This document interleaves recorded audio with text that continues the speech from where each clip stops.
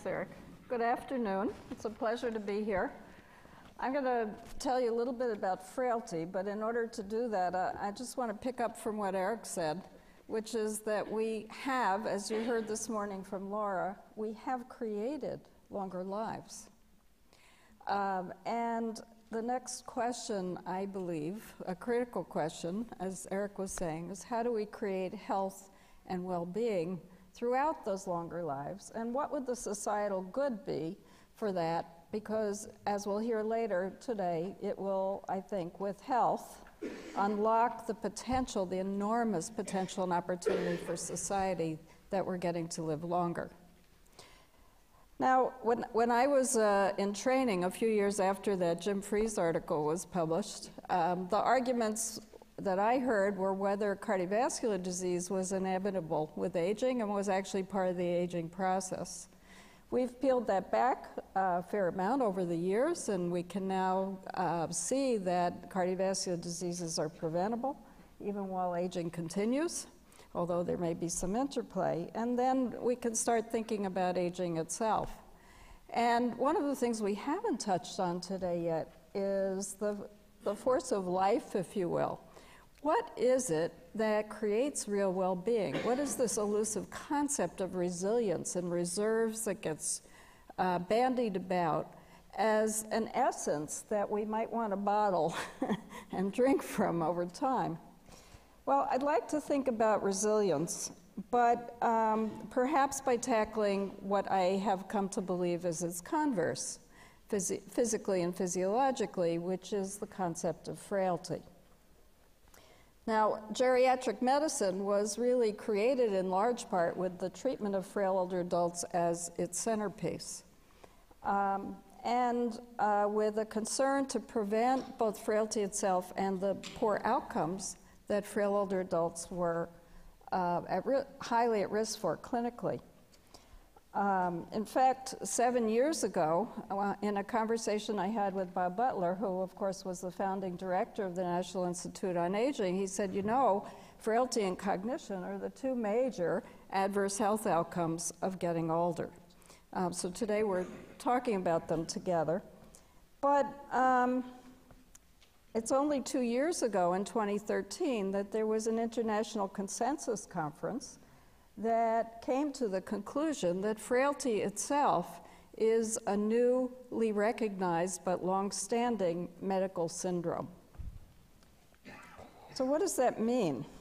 Um, well, the definition that we have over the years created is that frailty is a syndrome of vulnerability to adverse outcomes due to the dysregulation of multiple physiologic systems.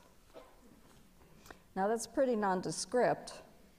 Um, but let's uh, just pull it apart a little bit. What's, what's the, medical, the definition of a medical syndrome? A constellation of symptoms and signs that cohere, and in their uh, coherence, actually, uh, the multiplicity of them point to a distinct pathophysiology. And I think that is what we have learned we're talking about here. Uh, but how on earth does this apply to frailty? Well, I encourage you to close your eyes for two seconds and see if you can picture someone who's frail. Raise your hand if you can picture someone who's frail. Yeah.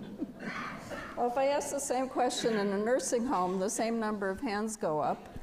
Um, and I've done it many times. So, obviously, there is a phenotype that we can identify.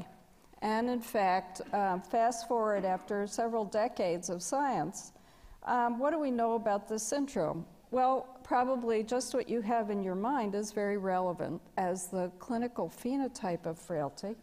We know that there is a constellation of uh, diagnosable, recognizable factors of weakness, muscle weakness, slowness, cutting back on activity, low energy and exhaustion, and in the end stages, weight loss, that together uh, in a constellation actually identify an underlying uh, specific pathophysiology and predict um, adverse outcomes.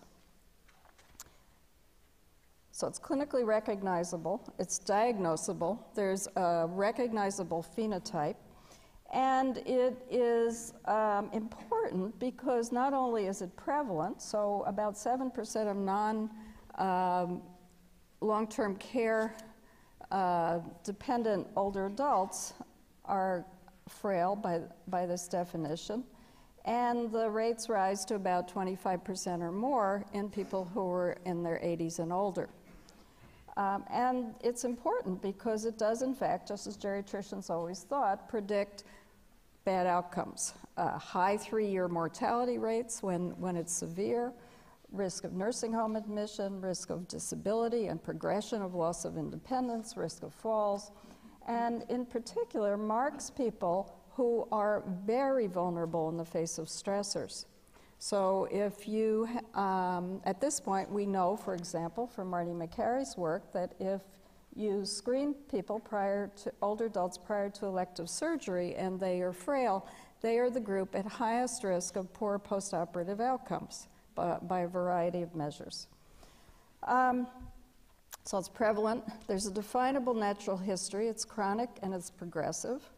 And interestingly, um, when it is apparent, it is highly predicted by a, by a unique pathophysiology. And that unique pathophysiology is um, multisystem physiologic dysregulation, which uh, around a number of systems, including chronic low grade inflammation, sarcopenia, as Eric said, hormonal abnormalities.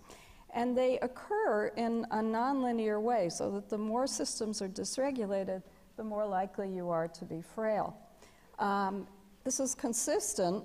Uh, I don't have time to talk about it, but it's consistent with actually the emergent property of a dysregulated, complex, dynamical, adaptive system, which is essential to the maintenance of resilience and homeostatic capabilities in the face of stressors. And we have shown over the years that, in fact, if, um, if you do something as simple as a glucose tolerance test, in, pip, in older women who are frail compared to non frail that they all look the same in terms of fasting glucose. Uh, these are women who are not diabetic, but after 160 and 120 minutes, what you see is extreme dysregulation of glucose response in the frail and delayed return to normal compared to the non frail. So, why do we care about all this? Um, for a variety of reasons. One is that I believe that what we're getting insight into are the, a lot of the dynamics of resilience and recovery and the ability to maintain homeostasis. We also, at every level of the syndrome, what seems to be driving all of this are energetics, dysregulated energetics, and in fact, there's mounting evidence that mitochondrial abnormalities uh, uh, are driving every single one of these um, dysregulated systems to some degree in terms of production of energy. Uh, there may be many other biologic drivers, but this is the one we're starting to get insight into. Uh, the, the other thing is that um, both many studies have tried to intervene with monotherapies like uh, estrogen replacement therapy for frailty, and they have uniformly been unsuccessful. Understanding frailty as a multi system problem suggests why that might have been so and suggests the need to think therapeutically very differently. And a key to that may well be this whole interest in physical activity, which turns out to upregulate every single system that is abnormal to our knowledge to date in frailty, and like tuning up the, a car. Um, and may provide a lot of insight into the potential for prevention. I'll stop there. Thank you very much. Thank you. much. Very good.